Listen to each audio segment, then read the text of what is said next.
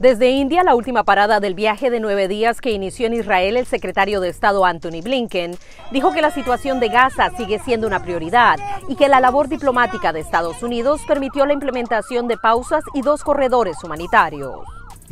Es necesario hacer mucho más para proteger a los civiles y garantizar que la asistencia humanitaria llegue a ellos. Demasiados palestinos han sido asesinados y han sufrido en las últimas semanas y queremos hacer todo lo posible para evitarles daños y maximizar la asistencia que les llega.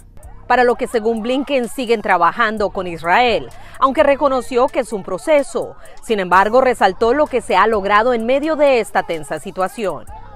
Hemos logrado algunos avances, primero al tratar de establecer algunos principios básicos que puedan guiarnos en ese esfuerzo, incluyendo entre ellos ningún desplazamiento forzoso de palestinos de Gaza, ningún uso de Gaza como plataforma para lanzar terrorismo u otros ataques contra Israel, no a la disminución del territorio de Gaza y un compromiso con una gobernanza liderada por los palestinos para Gaza y Cisjordania.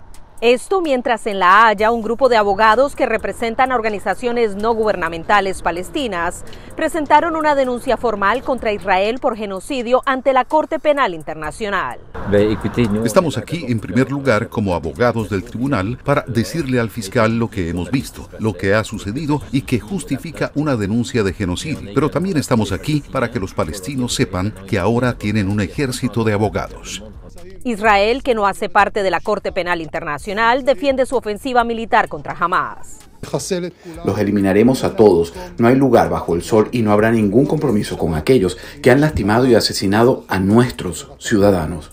Blinken, por su parte, insistió en la importancia de evitar que este conflicto se extienda en la región, mientras se enfocan en la liberación de los secuestrados por Hamas. Celia Mendoza, Voz de América, Washington.